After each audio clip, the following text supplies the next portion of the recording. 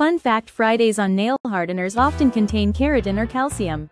If your nails crack or peel easily, nail hardeners might be your secret weapon.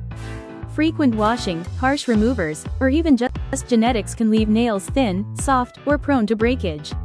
Nail hardeners changed that. They were first introduced in the 1950s, when more people began doing manicures at home, and noticed their nails weren't keeping up. The solution? A product that could strengthen and protect. Nail hardeners work by forming a barrier over your natural nail. This helps reduce bending, peeling, and everyday wear. Most of them contain keratin, the protein your nails are naturally made of, or calcium, which helps improve nail thickness and strength. Keratin smooths over surface damage, while calcium supports density and flexibility. Together, they help fortify weak nails over time. But stronger doesn't mean stiffer.